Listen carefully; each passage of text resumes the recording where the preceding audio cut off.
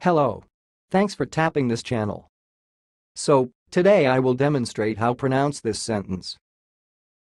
The sentence you are watching is sounds like ramekins and souffle dishes.